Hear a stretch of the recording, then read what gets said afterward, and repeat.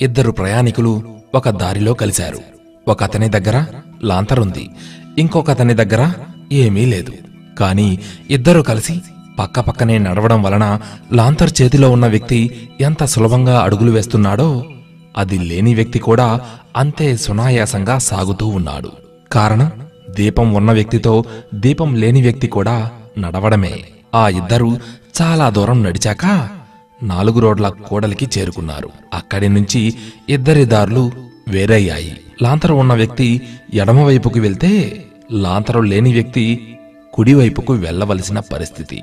ఇంకేముంది? లాంతరు ఉన్న వ్యక్తి తన దారిన తాను ఎడమవైపుకు వెళ్ళిపోయాడు.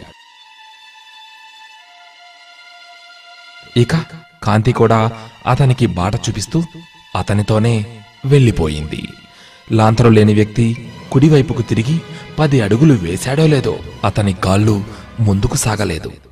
కారణం చీకటి. అతనికి ఏడుపొచ్చేసింది అప్పుడు లాంతరు ఉన్న వ్యక్తిని తలుచుకున్నాడు. అతనితో దగ్గరగా నడుస్తున్నంతసేపు నా ప్రయాణం హాయిగా సాగిపోయింది. అతను అలా వెళ్ళిపోయాడో లేదో నా మార్గం అంధకారం అయిపోయింది నా దగ్గర కూడా కనీసం ఒక చిన్న దీపమైనా ఉంటే నా ప్రయాణం సాఫీగా సాగేది అని బాధపడ్డాడు. ఇలా మనకు జీవితంలో ఇతరులు కొంతవరకు మార్గం చూపిస్తారు. తరువాత మన దారి మనమే వెతుక్కోవాలి. జీవితం చివరిదాకా ఎవరో ఒకరు దారి చూపిస్తారు అని అనుకుంటే అది పొరబాటే చదువుకునే రోజుల్లో గురువు చేసే పని కూడా అదే. గురువులు తమలో ఉన్న జ్ఞానకాంతితో మనకు కొంతవరకు దారి చూపిస్తారు. ఆ తర్వాత శిష్యులు ఆ గురువులు ఇచ్చిన జ్ఞానంతో తమలోని జ్ఞానదీపాన్ని వెలిగించుకున్నప్పుడే జీవిత ప్రయాణం చివరిదాకా చేయగలుగుతారు.